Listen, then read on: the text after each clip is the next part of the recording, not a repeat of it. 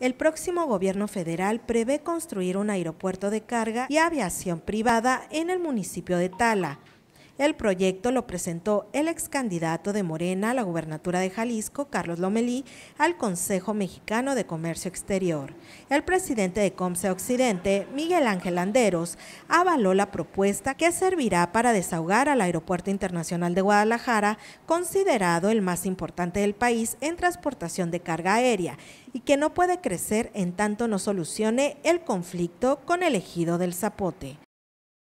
Lo que necesitamos es más detalles para entenderlo. Yo creo que la infraestructura jamás va a estar peleada con el desarrollo, es bienvenida, simplemente que hay que identificar que este aeropuerto que se propone es un aeropuerto de carga y de aviación privada y que eso le quitaría mucha presión al aeropuerto de Guadalajara.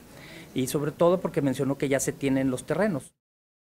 Miguel Ángel Anderos declaró lo anterior tras recibir autoridades de Hong Kong, ciudad que se ofrece para convertirse en la puerta para México en China. La región administrativa especial de Hong Kong tiene varias ventajas para que los inversionistas mexicanos la convierta en su centro de ventas y logística en Asia, aseguró Víctor Aguilar, miembro de Invest Hong Kong.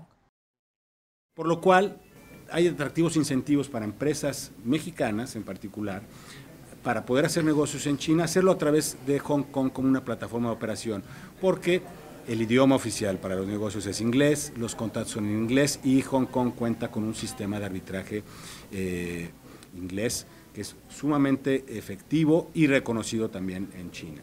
Y por otro lado, México y eh, Hong Kong están... Eh, hay un acuerdo de doble no tributación entre, entre Hong Kong y México y adicionalmente se está ya por, salir también un, un tratado en materia de protección a la inversión. La ciudad china tiene incentivos para inversionistas en investigación y desarrollo, inteligencia artificial, robótica y ciudades inteligentes. Además, está interesado en importar berries, tequila y productos agroalimentarios de Jalisco. se hará una misión comercial a China del 5 al 10 de noviembre para participar en una expo y conocer las conexiones con esta región.